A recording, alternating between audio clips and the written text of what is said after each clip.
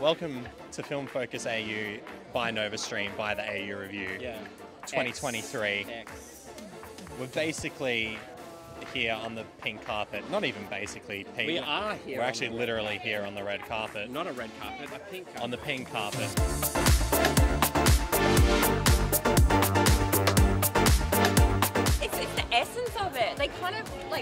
Got it. Like you got why I wanted to do it. What was so amazing? You get that this is the real hero. This little boat. You know. Yeah. I think they, they got that. And then there's just these moments where you say something that's just so real, like how tough it is, but the world's also beautiful, and that it just resonates so much for me.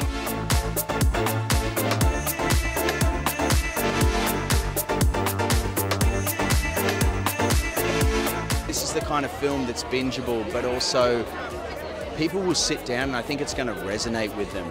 The story, uh, everyone knows Jessica Watson's story, right? You're like, okay, yeah, and you know, circumnavigated the world at 16, solo, incredible. But even when I read the script, I was like, holy shit.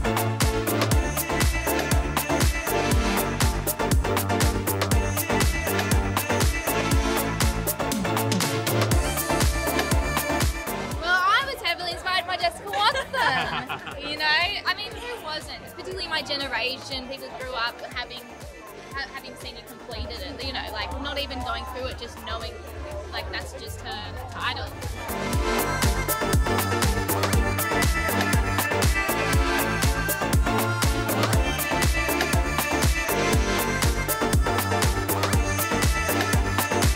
The other actors literally flew away and left me, the only cast member, me and my little boat, who's just